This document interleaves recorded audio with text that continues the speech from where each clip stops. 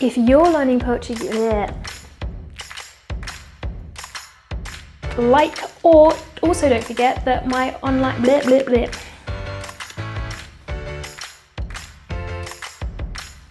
The next way to talk politely.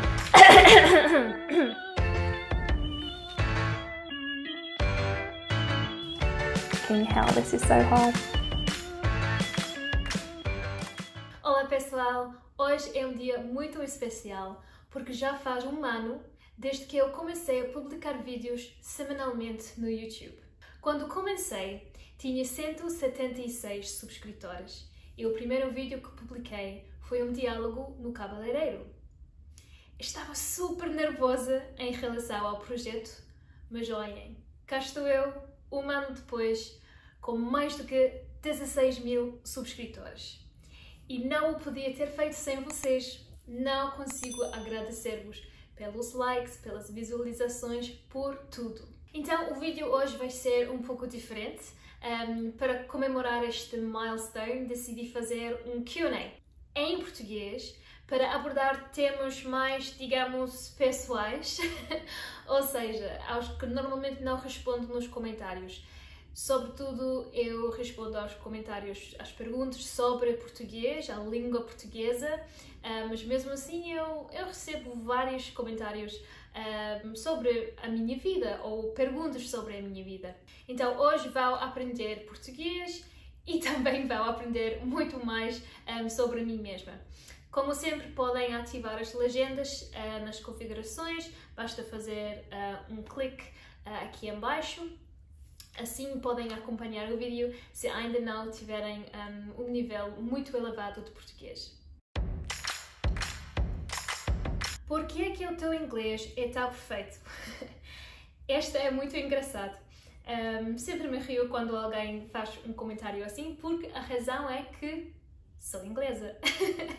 Nasci na Inglaterra, a minha mãe é inglesa, o meu pai é da Índia, outra pergunta que, que vocês fazem muito. Um, então é por isso que sou morena, mas ninguém na minha família fala português. Foi realmente alguma coisa que aprendi porque sempre gostei de aprender línguas um, e agora sou professora de português. Um, morei no Brasil, uh, então por isso às vezes o meu sotaque é uma misturazinha de tudo. um, mas não, a razão que falo inglês perfeitamente com esse sotaque um, britânico é porque sou britânica. Pronoun. But.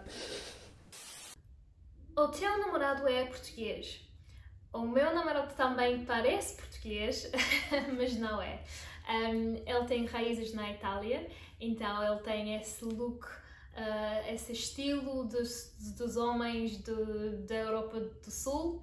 Um, mas não, ele é dos Estados Unidos. Eu conheci-o quando um, vim para, para morar em Lisboa. eu não conheci ninguém, ninguém mesmo.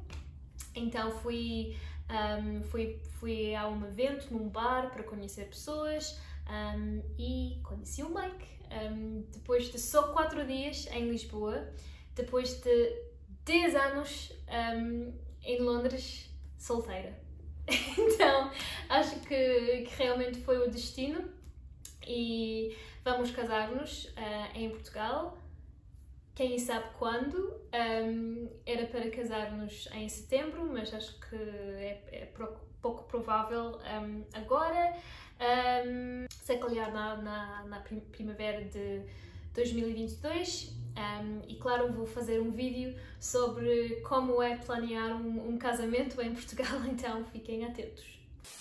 No, that's not right. That's the wrong way around. But let's just keep going because this is going to take forever, forever otherwise. Qual é a tua palavra preferida em português? Gostei muito desta pergunta e por acaso eu tive esta conversa com os meus alunos um, há pouco tempo. Eles tiveram umas ideias ótimas, como beija-flor, uh, maracujá, um, que mais? Borboleta. Um, e eu disse que a minha palavra preferida em português era pumba um, significa tipo boom ou bang. Mas sempre penso no, no javali, no, no, no Rei Leão. Então acho muito engraçado essa palavra. Uh, também gosto da palavra xixi. Estou cheia de xixi. É muito engraçado dizer aquilo. Which I haven't introduced yet. Sorry. Okay. Porque queria aprender português. Olhem, não tenho uma resposta super interessante. Um, é porque eu sempre gostei de línguas, um, estudei espanhol na escola um, e quando, quando fui para a universidade, muitas universidades na Inglaterra oferecem a, a opção de, de aprender português e espanhol juntos. Então achei interessante, sempre gosto de um novo desafio e durante o primeiro ano um, eu organizei uma viagem para, para os alunos, para os meus amigos, um, para o Porto uh, e quando eu fui apaixonei-me. A história, a cultura, as paisagens, um, a língua, claro, o vinho. e comparando com espanhol, um, não havia tantas pessoas que queriam aprender português e também gosto dessa ideia de, de ser um pouco diferente. Um, mas sim, acho que desde, desde essa altura eu sempre quis chamar a atenção à língua portuguesa porque acho, acho tão bonita e tão interessante. Um, e sim, mesmo começou em 2005, quando comecei a estudar na faculdade. Nunca pensei que ia ser professora de português uh, nem youtuber. Um, eu sempre quis ser uh, intérprete para jogadores de futebol que falam português. uh, que nunca aconteceu, infelizmente. Não, estou a brincar. Estou aqui agora e amo a minha vida.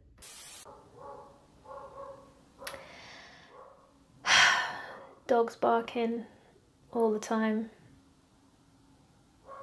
No. Stop.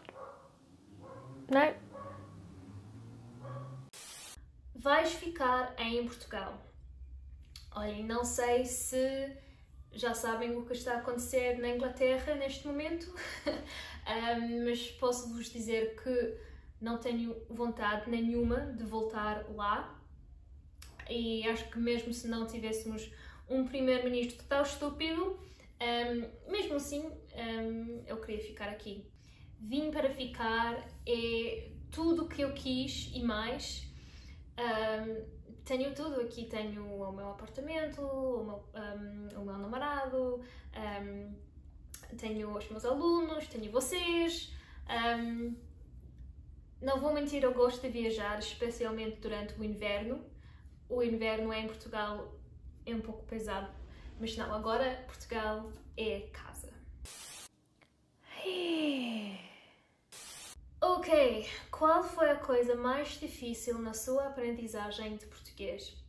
Acho que já conseguem adivinhar o que é, não é? Medo de falar. Eu sou 100% igual a vocês.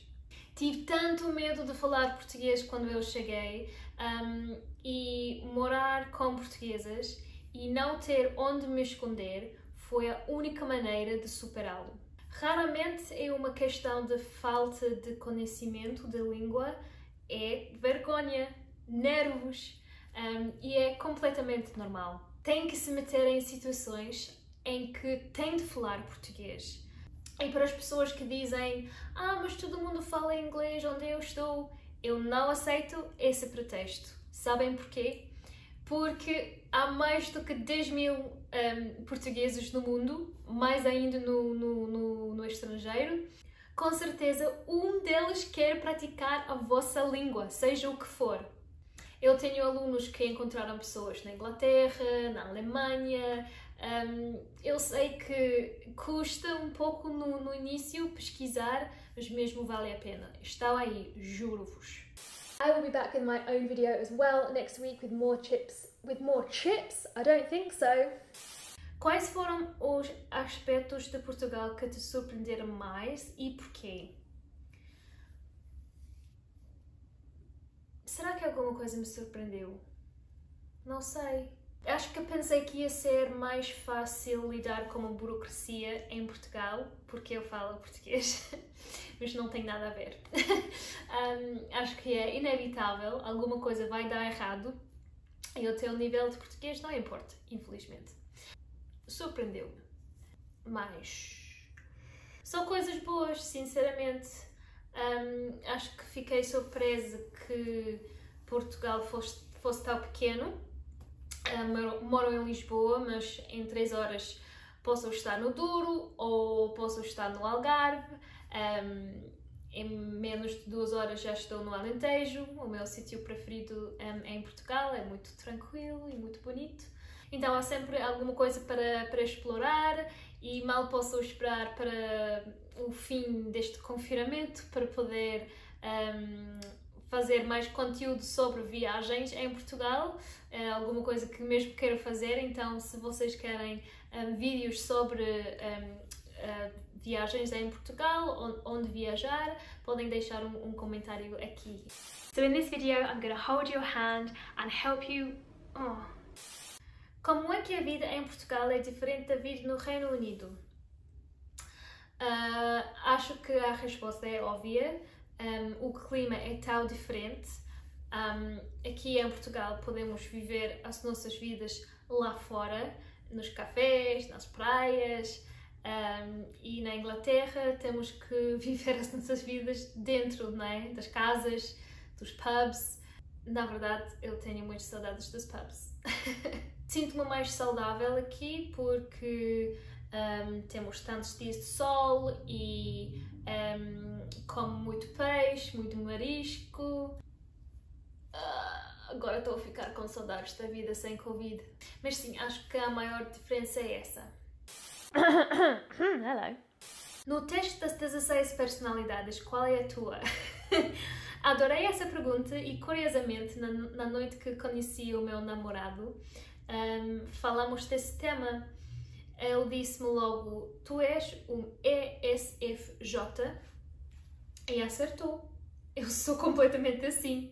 Então acho que, deixa-me ver, eu tenho escrito aqui.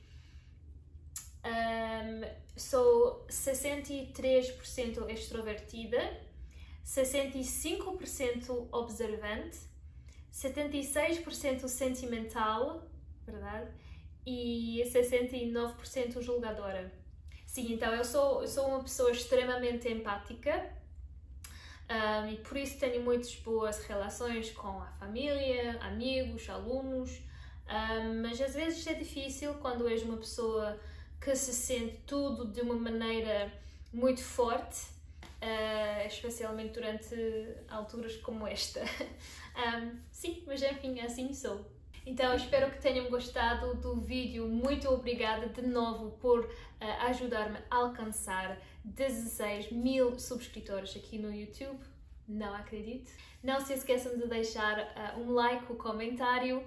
E se precisarem de ajuda com o vosso português, já sabem que todas as terças tenho um novo vídeo aqui para vocês. Então, se não quiserem perder nenhum deles, subscreve no canal. Muito obrigada de novo pelo apoio, pelo carinho, beijinhos e até à próxima. Tchau, final!